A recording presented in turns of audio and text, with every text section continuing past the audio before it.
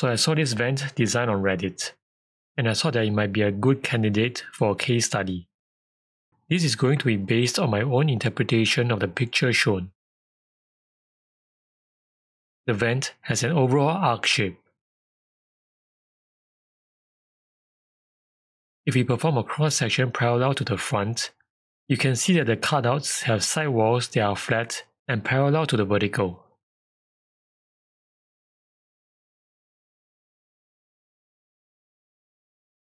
These faces are conical in nature. If we perform a cross section parallel to the right, we can see that they are at an angle.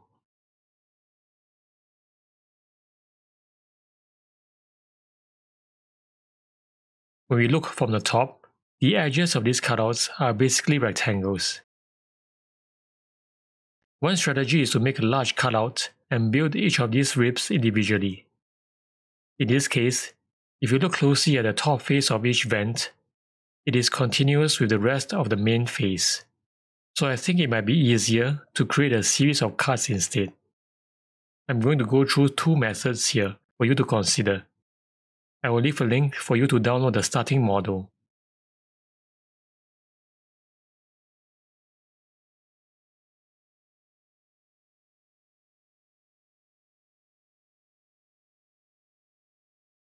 Let's first take a look at using a solid sweep. The important point to take note about a sweep is that it can only accept planar profiles. Since this is a conical face, we will not be able to sweep in this direction. Since this is flat, we can sweep in this direction.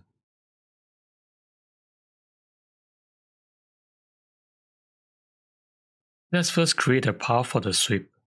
Perform a sketch on the top plane.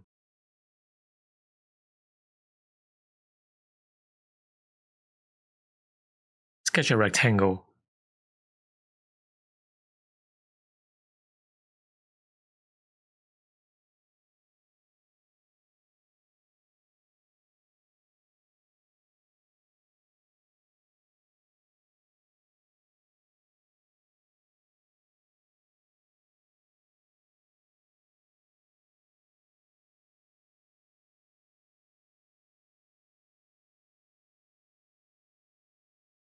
Go to Modify, Split Face. Select the top face as a face to split. And select the rectangle as a splitting tool.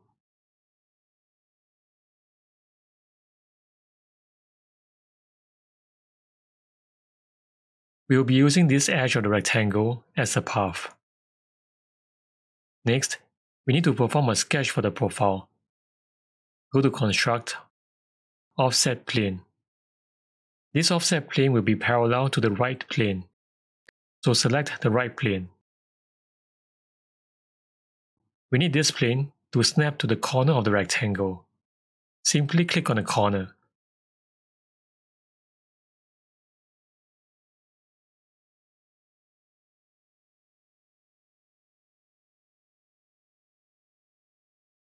Create a sketch on this plane.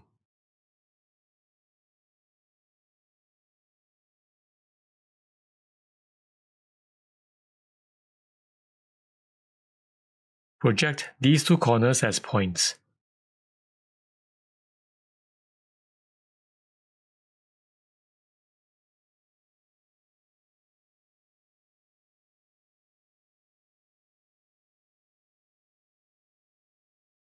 After testing with the sweep command, I have found the most success when I create a larger profile than required. I'm going to create a parallelogram Let's use a three-point rectangle. Place the first two points to define the width, and place the last point to define the length. Let's delete the perpendicular constraint. Begin the midpoint constraint. And set the midpoint of this line to coincide with this projected point. Do the same for this line and the next projected point.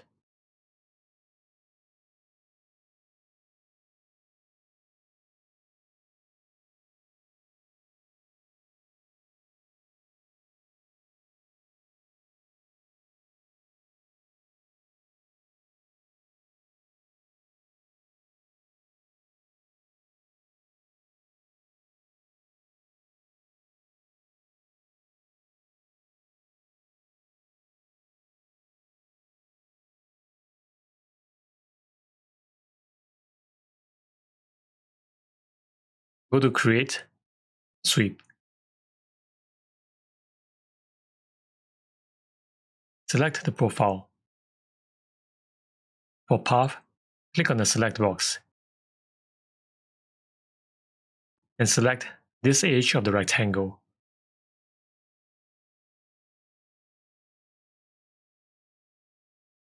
To ensure that the side walls stay vertical, we need the orientation to be parallel. Set the operation to cut.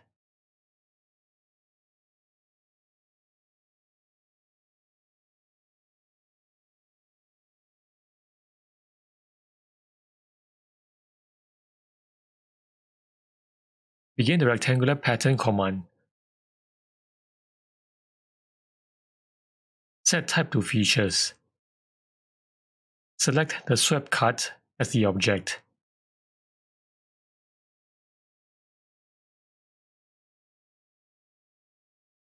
Select the z-axis as the direction.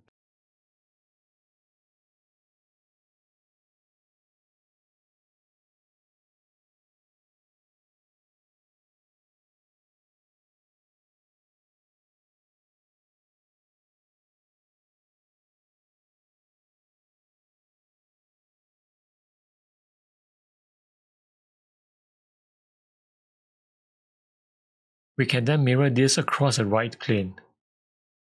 During the mirror, set type to features. We will need to select both the seed cut and the pattern.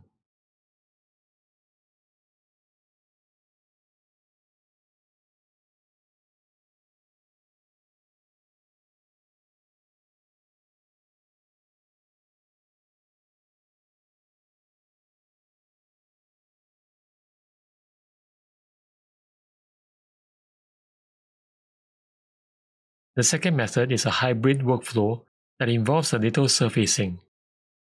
Personally, I find this to be more intuitive, and it also involves less sketching. We will start from the point just after the split face was done. A good way of building a conical face based off an existing edge is to use the Ruled Surface command. Activate the Surface tab. Go to Create, Ruled. And select this edge. By default, the type is set to normal. As we drag this down, you can see that the ruled surface will start to converge as we move toward the center. However, we need these two edges to be straight instead. Change the type to direction.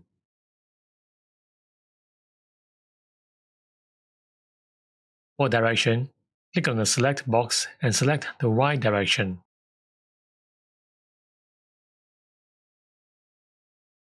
With this, the edges are straight and parallel to each other. We can pivot the ruled surface by adjusting the wheel.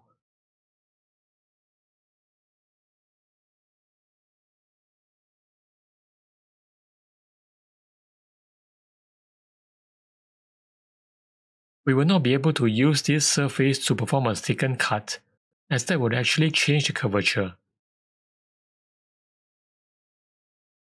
We want these two faces to have the same curvature.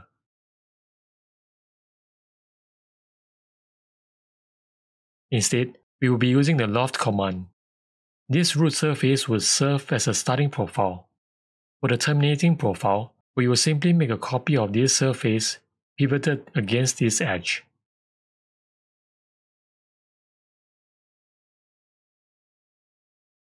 Begin the rectangular pattern command. Change type to bodies and select the ruled surface body.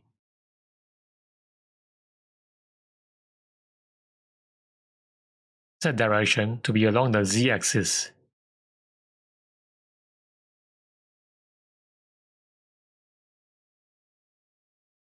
The distance will be the same as the width of the rectangle. Set quantity to 2.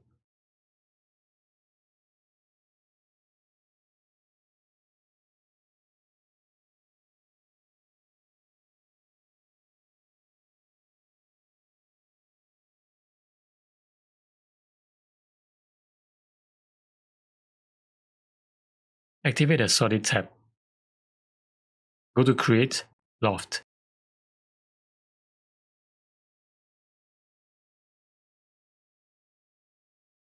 We will loft from the first ruled surface to the second ruled surface. The loft should naturally follow the shortest possible path. To be sure, we can click on the arrow for rails and select these two edges.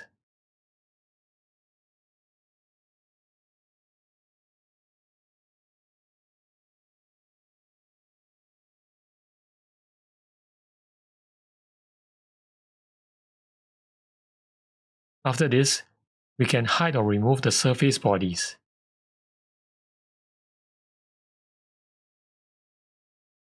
Perform the rectangular pattern and mirror as before. To achieve a thin-walled vent structure, you would most probably need to perform a shell.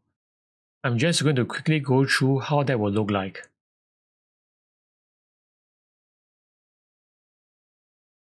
During shelling, you can select these faces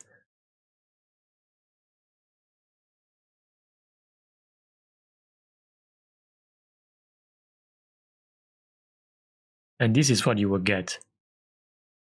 To prevent the formation of a double wall between the vents, you do need to adjust the rectangular pattern, such that the distance between the vents is equal to the wall thickness.